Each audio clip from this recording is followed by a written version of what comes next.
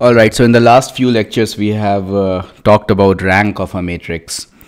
And now in this lecture, I want to talk about um, how, how can we use the uh, concepts that we have learned uh, about rank in the last few lectures and apply the same to figuring out the nature of uh, solutions of a linear system of equation.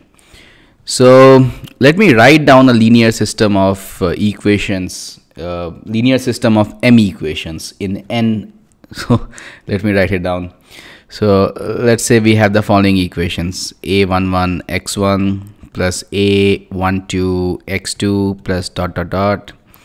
A1 n xn is equal to b1 so we'll have uh, we will have n n unknowns.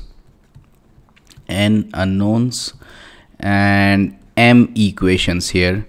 So the second equation can be written like so a21 a21 x1 plus a22 x2 plus dot dot dot a2 n xn is equal to b2 and so on and so forth and let me write down the mth equation that could be written like so am1 x1 plus am2 x2 plus dot dot dot plus amn xn sorry this has to be b2 is equal to bm right? And we also learned that uh, we can write down the uh, coefficient matrix for this linear system of equation here. Like so. So a can be written like so. A is equal to a11 a12 dot dot dot a1n and then the second row could be a21 a22 dot dot dot a2n and the mth row will be am1 am2 dot dot dot amn right? So this will be an m by n matrix. And the coefficient matrix just to remind you is nothing but the matrix which is uh, formed by uh, picking the coefficients of all the unknowns right? So the first row uh, uh, the elements of the first row of the coefficient matrix A are uh, nothing but the uh, coefficients of uh, all the unknowns uh, x1 x2 till xn in the first equation. So and we also talked about something called augmented matrix. That is we write it as a tilde and augmented matrix is nothing but coefficient matrix and we add a column vector towards the end which is made up of all the bi terms. So if I were to write the augmented matrix it would be uh, a11 dot dot dot dot a1n and then b1 and a21 dot dot dot a2n and then b2 and so on and so forth. Am1 dot dot dot amn and then B M right? I really have to be very very cautious with all the indices because it can get extremely confusing at times. Okay so the first claim that I want to make here and is one more thing. So all the claims that i want to make here i'll, I'll be i'll be proving the proving them too. But i really wanted to memorize these uh, these proofs or theorems or the claims that i'm going to make because they are very handy and they are used very often. So so p1 or the proof 1 or the claim 1 that i want to make here is that uh, this linear system of equations right that we just uh, um, that that we have represented here it will have uh, it will have solution or solutions. If and only if the coefficient matrix and the augmented matrix have the same rank. So what i want to say is that uh, for for this the ls linear system that i have defined above will have solutions solutions if and only if if and only if rank of a is equal to rank of a tilde which is the augmented matrix all right and let me um, prove it to you.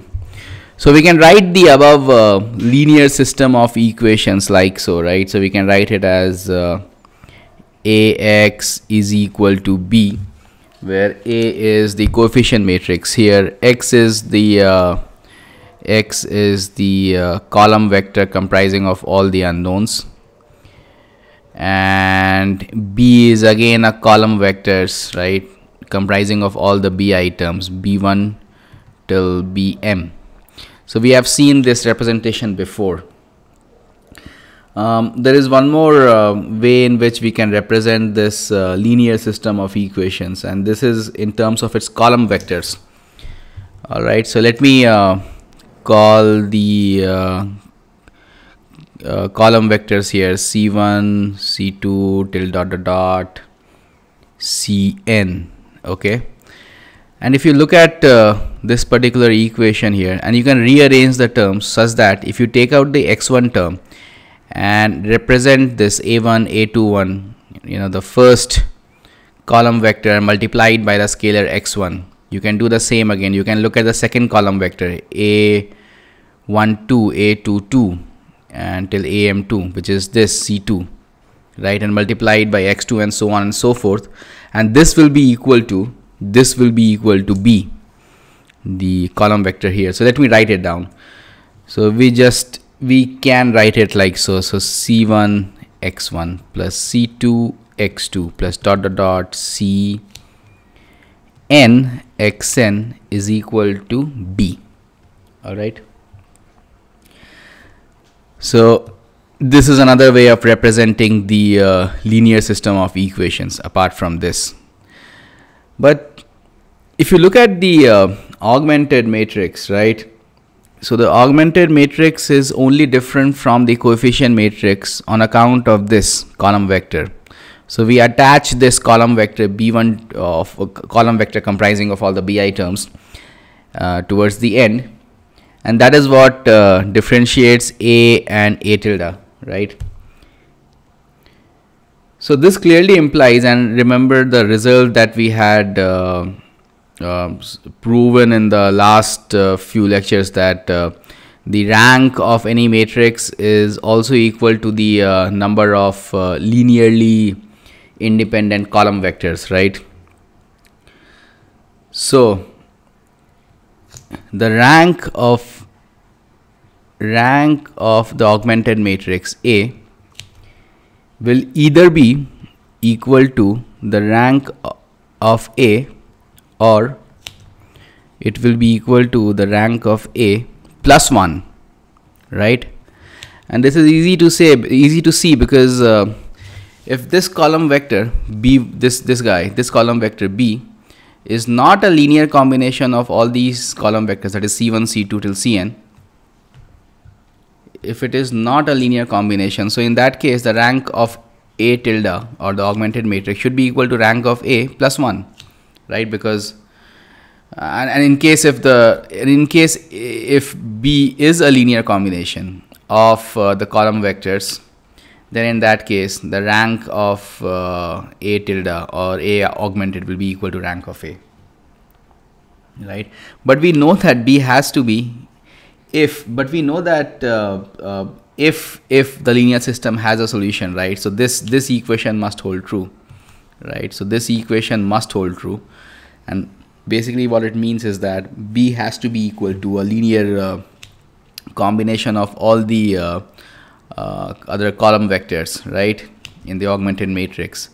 And hence, the rank of A tilde has to be equal to rank of A.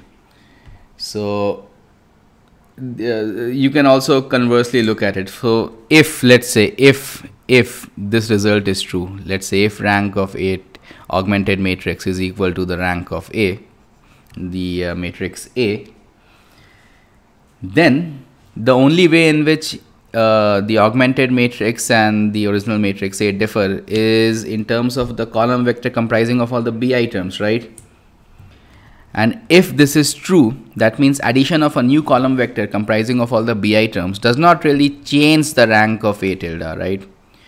It clearly means that B must be a linear combination of the uh, other column vectors. So um, let, let us write it as let's say alpha 1 c1 plus alpha 2 c2 just dot dot alpha n cn right and so we can write it like so in case if the rank of a tilde is equal to rank of a then in that case b must be expressible as a linear combination of the other column vectors.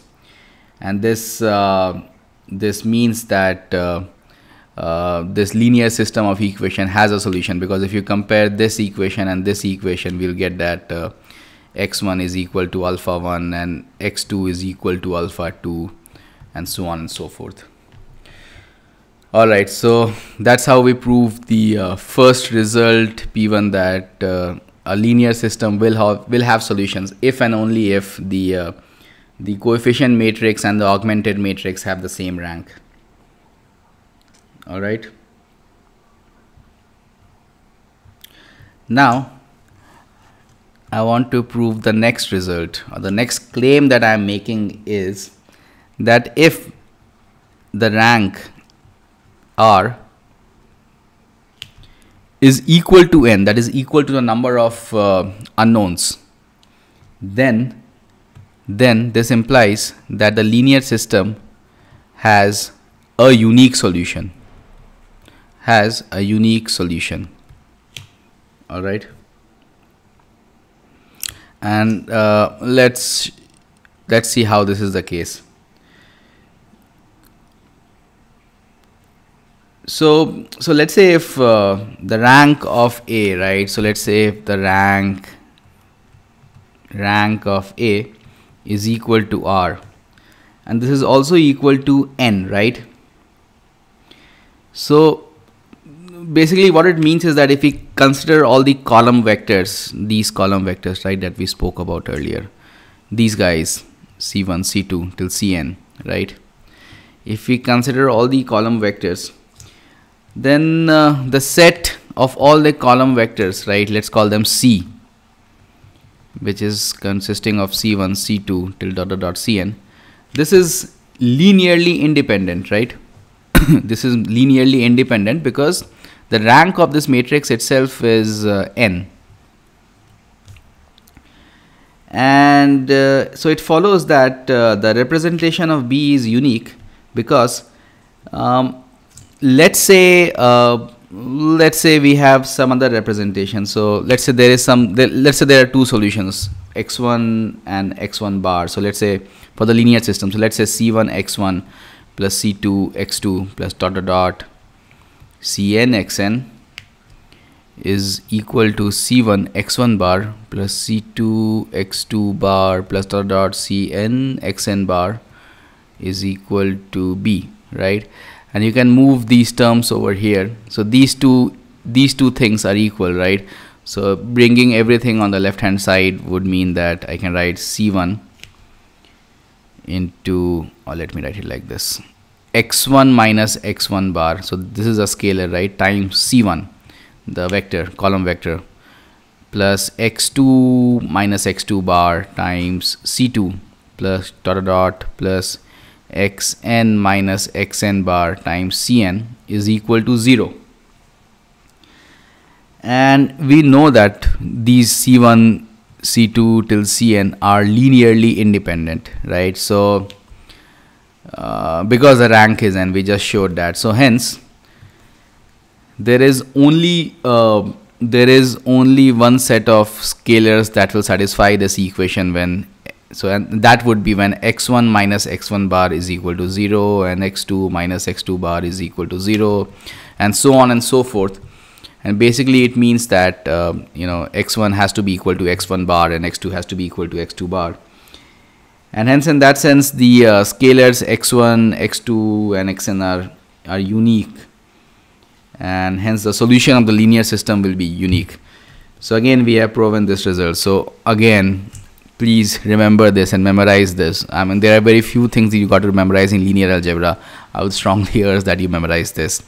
That if the rank of a matrix, uh, of the coefficient matrix is equal to n, that is the number of unknowns, and uh, which is equal to the rank of of course the augmented matrix then the linear system will have a unique solution so that was the second claim and the third claim that that's kind of hairy but let me do it anyway. So the third claim is that uh, um, if the rank r is less than n that is the number of uh, unknowns then this implies that ls has linear system has an infinite number of solutions.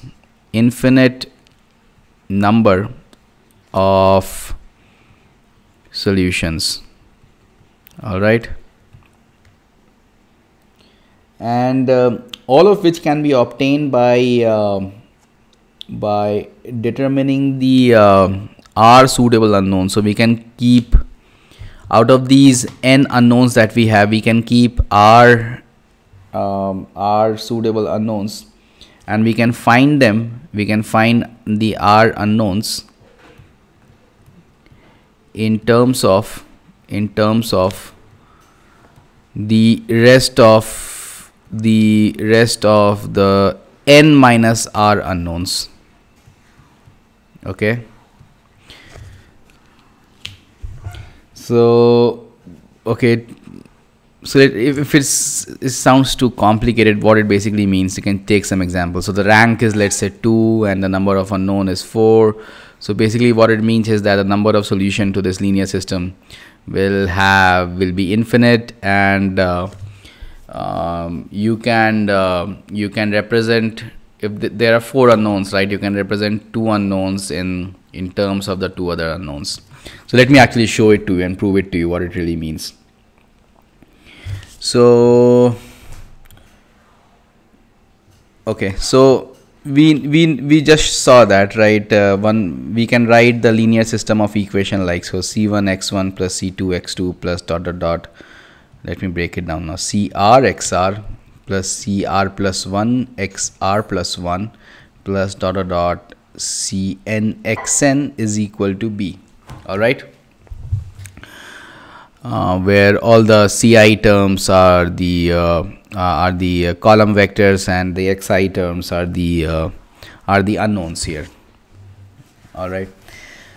So now for the sake of simplicity uh, let's assume that uh, c1 to cr are the linearly independent column vectors and the rest of the column vectors that is from cr plus 1 to cn can be expressed as a linear combination of C1 to CR. If in case that is not the case, we can just simply rearrange the terms here and there and we can ensure that the first R terms or the first R terms have the column vectors that are linearly independent.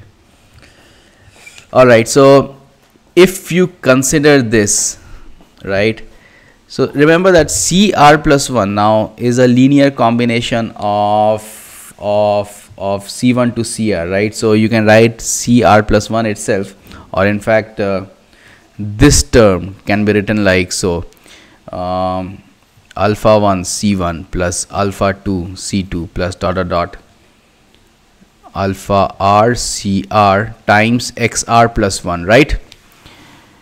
And and again the next term that is let me write it down. So the next term here would have been uh, cr plus 2 times xr plus 2 right? And again this guy this guy could be written like so right? Uh, it could be written like it, it's again so again the cr plus 2 is is a linear combination of c1 to cr column vectors right? So we can write it the, the cr plus 2 part as alpha 1 dash some other some scalar right?